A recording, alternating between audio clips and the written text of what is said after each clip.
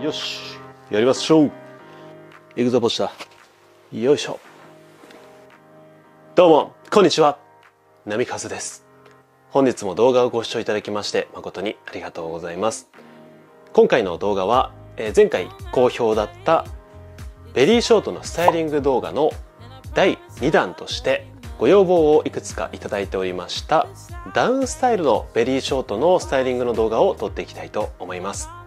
えー今回も終始真面目にやっておきますので起きますとか言っちゃいました。やっていきますので、えーボケは一切禁じて真面目なスタイリング動画撮っていきたいと思いますのでぜひ皆さんのスタイリングの参考にしていただければ幸いでございます、えー今日のねダウンスタイル、えベリーショートのダウンスタイルになりますので、まあ、大人でおしゃれなベリーショートのダウンスタイルをやっていけたらと思います。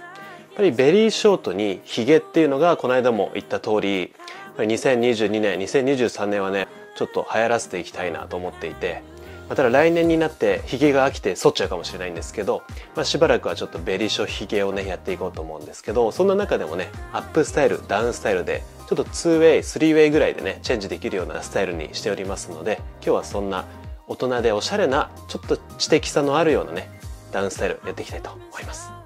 例えるなら「スラムダンクの三井久志ヘアですね。それを今日は作っていきたいと思います。えースタイリングと最後に今回もちょっとまたアイバンのサングラスにプラスフェニックスのダウンを着たちょっと大人ストリートな感じに合うようなそんなスタイリングにしていきますので参考にしてみてください。じゃあ早速、えーやってまいりましょう。じゃあちょっとね朝シャワーを浴びたいと思います。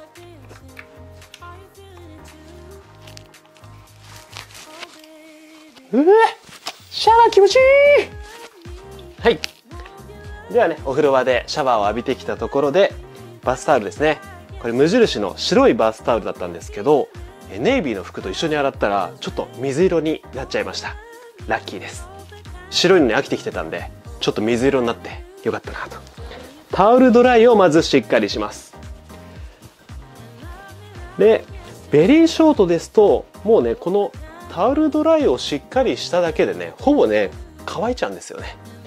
なのでタオルドライをねしっかりした後に、えー本日はねやっぱり今12月冬で髪に必要なもの何か皆さん分かりますか？髪もケアが大事なんです。ということで今回オーウェイのグロッシーネクターというアウトバスのトリートメントオイル。こちらは比較的ミドルダメージぐらいのものですね。ハイダメージの方だともうちょっとしっとりするシルキンググローセラムとかあとはユーラシアのトリートメントオイルなんかがおすすめなんですが特にまベリーショートでねダメージはそんなにないのでグロッシーネクターは割とダメージのない方からミドルダメージぐらいまで熱のダメージを防いでくれたりこれをつけて乾かすことですごくサラサラになります。ではこれをワンプッシュだとちょっと少ない気がするけどベリーショートなんでねワンプッシュでいきたいと思います。匂いがすごいいいんですよね。ややねボタニカルでスパイシーな香り。つけていきます。クイックグルーのスパイシーさよりはもうちょっとマイルドな感じですね。そんなに強い匂いではないです。こういう短い髪もしっかりケアをしてあげることで髪の毛がね喜んでくれると思うんですよね。髪の毛も喜ばせちゃいましょう。でしっかりとこのグロッシーのオイルをつけたらちょっと手を洗ってきます。はい。ではね手を洗ってきました。でグロッシーネクターのこのトリートメントオイルをつけた後にやることがね一つだけございましてこのままドライしてもいいんですけれどもトリートメントの成分をしっかり髪に行き渡らすためにこういったコームを用意します。こちら使うのはビュリーで買ったコームです。これすごいおしゃれでかっこいいんでおすすめです。5000円ぐらいするんですけど高いですよね。で、えーしっかりとねコーミングをしていきます。コームの粗さはねちょっと粗めなコームなんですけど細かいコームでもどちらでも OK です。でトリートメントの成分をしっかりとねこのベリーショートでもちゃんとケアをしてあげるっていうのは結構大切です。特にもっと長い人はしっかりとケアをしないと冬場は乾燥しやすいので髪がパサパサになって男性でも髪がパサパサな人っていうのはちょっと嫌ですよね。なので髪が綺麗な素敵な男性を目指しましょうではドライをしていきます。ベリーショートのダウンスタイルのドライはポイントは一つだけ。もうナチュラルに毛流れつむじの毛流れ通りに自然に乾かしてあげる。でボリュームはもうほぼ出しすぎない。出さないで乾かしていきます。では参ります。風量もこのぐらいでいいか。一番のポイントは左右前前後左右いろんな方向から風を当ててあげるのがポイントです。そうすることで毛の立ち上がりがニュートラルな位置に立ち上がってくれるので片っぽからずっと風を当てるのではなくて片っぽから当てたら逆からも当ててあげる。そして後ろからも前から。ダウンスタイルなのであんまりこう前で上げる感じにはしません。基本的には下ろすような感じですね。左右前後乾かしながらも基本は下ろすような感じに乾かしていきます。ベリーショートって本当に清々しいですよね。僕も髪を切ってから何か運気が上がってるような気がしています。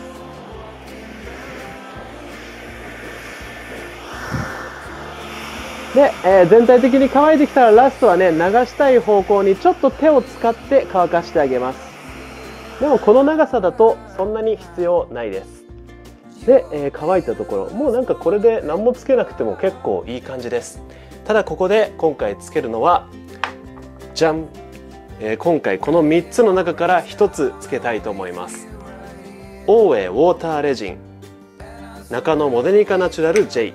中野のモデニカアートグリース。この辺りがダウンスタイルのベリーショートにはおすすめのスタイリング剤。もう1個は今回この中でねナチュラルで大人で知的な印象を与えるスタイリング剤としておすすめしたいのはこちらですね。ウォーターレジン。まあ、この3つの違いとしては3つともグリースのようなスタイリング剤なんですけれども、まあ、ウォーターレジンが一番ナチュラルでなんというかねやりすぎない感じでスタイリングができるので自然な大人な印象を与えるにはウォーターレジンがおすすめです。でもうちょっとツヤ感があってウェットな質感を作りたい時はモデニカナチュラル J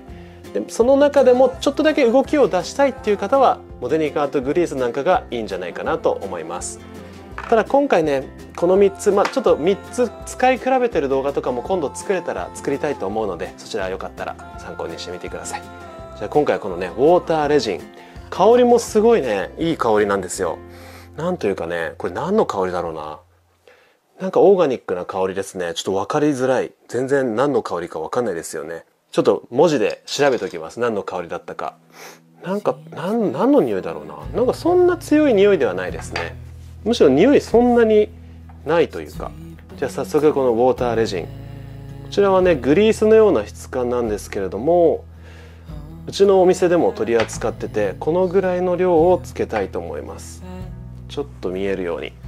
こんな感じ。えー、かけ、まあ、1センチ1センチぐらいですかね。1センチ1センチちょい多めぐらい。これをしっかりと手に伸ばしてつけていきます。ダウンスタイルの時のポイントとしてはやはり大人になってくると気になるのは生え際の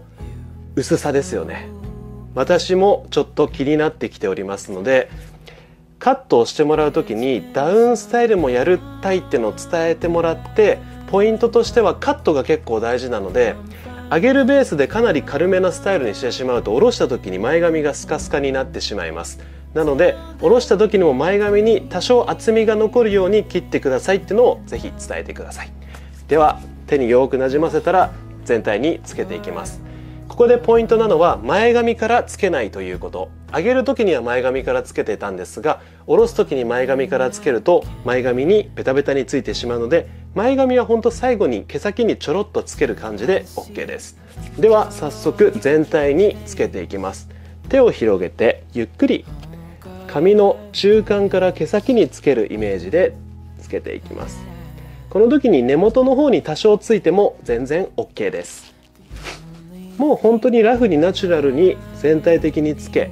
サイド襟足の方は軽くでいいですね。アップのスタイルよりはもみあげ周りとか襟足にはそこまでつける意識はしなくて OK です。で全体についたらそのまま前髪にちょっとだけこう手で指先でつけるような感じでつけます。もうこれでほぼほぼ完成ですね。ちょっと鏡がここにあるのでねこっち側で見るんですがもうこれで三井久志だ。先生。バスケがしたいです。はいということでもう本当にこのね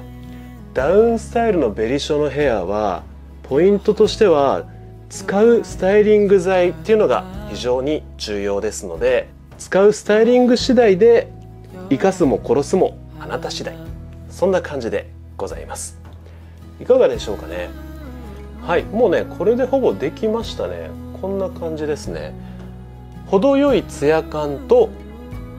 自然な動きが出せるそんなスタイリング剤がこのウォーターレジンかなと思います。でさっきちょっとね NG パターンみたいのもちょっと作っててこのコームでつけた後にコーミングをするっていうのをちょっとやってみたんですけどそうするとねあんまりなんかしっくりこなかったのでちょっとやってみます、まあ、これほぼ完成なんですが一回つけた後にコームを入れてモードな感じにしたいって思ったんですがアップバングをするように若干軽くもしてるのでこうやってコームをきれいに入れるとちょっとね前髪周りが透けちゃうなっていう印象ですね。なので若干ラフに動かした方が今回ウォーターレジンを使ったスタイリングとしてはいいかなと思いました、まあ、コーミングで綺麗に溶かすとこのような感じですね。メガネとかをかけるとこういう感じでもとってもかっこいいんですけど、まあ、今回ちょっとラフな大人な印象をね与えたいんでちょっとだけ足しますね。なんか全体的にバーッとつけてバーッとつけたこの手の手で作ったラフな動きぐらいが個人的にはいいかなと思いました。これほんとね難しいポイント難しいところとしてはねあんまりつけすぎてもなんかウエットになりすぎてこう透け感が出すぎちゃうのでつけすぎないっていうのも結構ポイントですね。はい。今ちょっと足したので若干多くなっちゃったかな。でね前髪をねちょっと下ろした時にちょっと軽いかなって思ったので、まあ、そういう時はねもうこういうもうこれ全然あの髪切るハサミなんですけどもうこれででもいっちゃうんですよね。ちょんちょんちょんって言って。ちょっとちょっと厚み出すみたいな。もうちょっと厚み出しててよかったな。OK ほんとちょっとねほんと1ミリぐらいですね。まあ、ただこれはねちょっとあんまり真似はおすすめしないですね。私は美容師なのでいい感じにねこう切れるんですけど。OK ちょっと切りすぎたか。はい。こんな感じでね毛先を最後にねハサミで整えてあげる。これはちょっと真似できないですね。なのでやれる方はやってみてください、まあ、ただあんま切りすぎるとアップバングにした時にやりづらくなっちゃうのでそれはちょっと調整してみてください。じゃあ最後にねこれでちょっとダウンとねサングラスかけた感じで見てみましょう。いやダウンスタイルだとねヒゲがあることで本当に渋さが出てそれにメガネとかサングラスをかけるとより大人っぽい印象になるのでおすすめです。いやでもベリーショートでダウンスタイルに合う服装としてはですね私はこういう今日はヒューベントっていうブランドのニットを着ているんですけれども大人っぽい暗めの色のニットとか暗めのアウターと相性がすごくいいですね。こんな感じですね。前回と格好はほぼ似てるんですが、まあ、ニットの色味が前回はダークグレーから今回ネイビーになっています。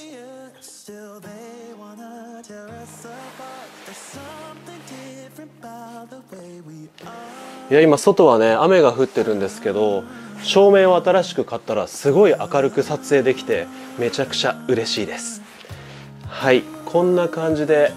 ダウンスタイルにするとやや優しい感じが出ますね。なのでちょっと幼く見えてしまう恐れもあるんですけどもそこにまあヒゲとかこういったサングラスをプラスしてあげることで幼さをちょっと中和して渋みを出せるんじゃないかなと思います。いかがでしょうか？渋いです。渋みです。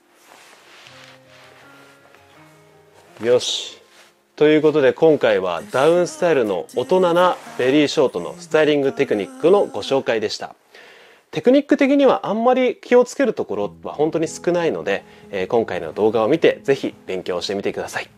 えまた使ってもらいたいスタイリング剤などがあればぜひぜひコメントの方にお寄せいただければちょっと検討いたしますのでコメントどしどしお寄せください。チャンネル登録まだの人はぜひぜひチャンネル登録よろしくお願いいたします。いいねボタンもよろしくお願いします。ということで次回の動画でもまたお会いしましょう。それではアリー。アリーベデルチ。